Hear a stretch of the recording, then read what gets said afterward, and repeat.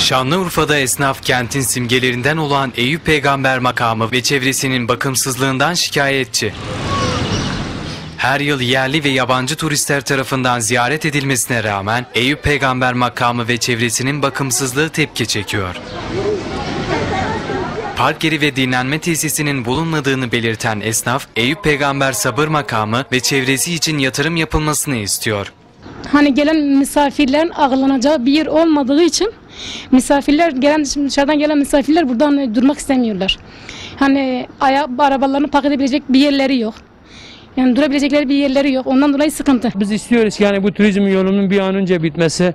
Yani Balıklı Göl'e çıkan adam direkt buraya gelmesini onu çok arzu ediyorduk. Turizm yolu çoktandır gündemde ama herhalde yürüyemiyor belediye.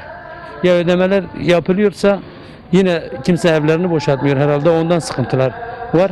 Ama yine de umutluyuz, bekliyoruz. en azından çevre düzenlemesini yapıp Şanlıurfa'ya, Şanlıurfa Eyüp Peygamberi makamına bir ilgi göstermelerini talep ediyoruz.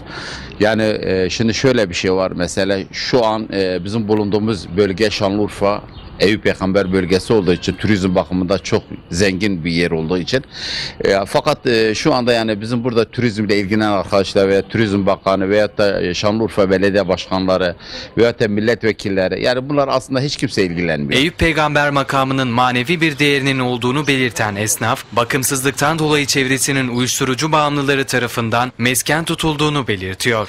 Burası kutsal mekan. Güzel bir görüntü olması lazım. Güzel bir bakım olması lazım. Biraz daha em- ehemmiyet olması lazım. Hani dışarıdan gelen turistin ilgisini çekmesi lazım. Ondan dolayı hani ben istiyorum ki buraya güzel bir bakım yapılsın. Yani ben burada yetkililere de sesleniyorum. Biraz bir çevre düzenlemesi bu bir. Yani böyle bir e, görkemli bir şey olsun yani. Böyle insan turizmi çekebilen bir yer olsun.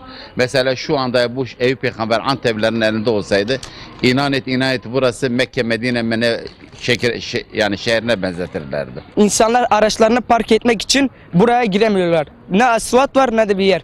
Oraya yüksekliğe zaten baktığınız zaman görürsünüz. Araçlar ineceği zaman ya alt şahsaları ya da arabaları çiziliyor. Onun için de turlar ya da arabalar buraya Eyüp Peygamber makamına hiç gelmiyor. Şanlıurfa'nın merkez Eyyubi ilçesinde bulunan Hazreti Eyüp Peygamber Sabır Makamı, hastalığa yakanan Eyüp Peygamber'in iyileşene kadar kaldığı yer olarak biliniyor. Makamda Hazreti Eyyub'un hastalığı boyunca kaldığı çile mağarası, hastalığı esnasında tedavi olduğu belirtilen su kuyusu ve Eyüp Peygamber'in sırtını dayadığı sabır taşı bulunuyor.